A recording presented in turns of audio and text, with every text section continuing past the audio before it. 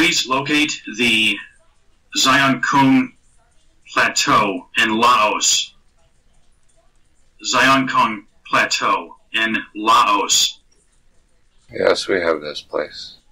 There is an area here that contains thousands of stone containers or jars.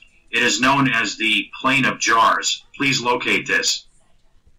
Yes, we have this. Archaeologists are still uncertain to this day as to what all these stone jars were used for.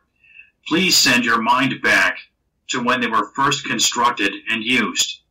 Briefly, what do you see?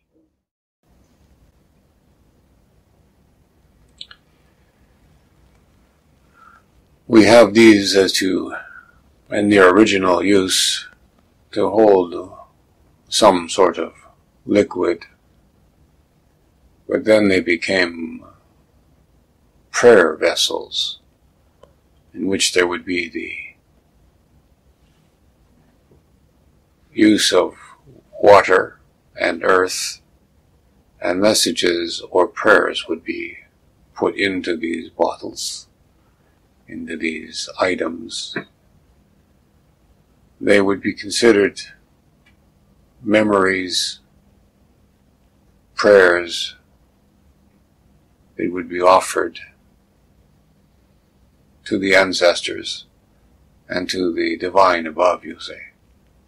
We have here some individuals in traditional garb taking water from the ground with some mud or earth within the same, coating the inside of this container and allowing it to harden. Then there would be messages, words would be spoken into the container as if it would be somewhat of a recording device, so to speak, to give it some comparison to understand. And here these prayers would then be put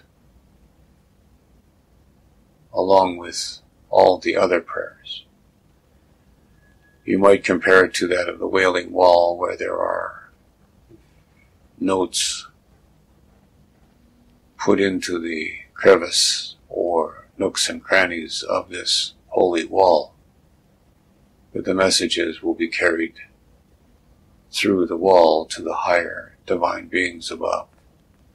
And the same with these containers, somewhat of vessels to keep the prayer permanent and conjoined with others, that there would be a loud voice to that of God Almighty who would hear their prayer.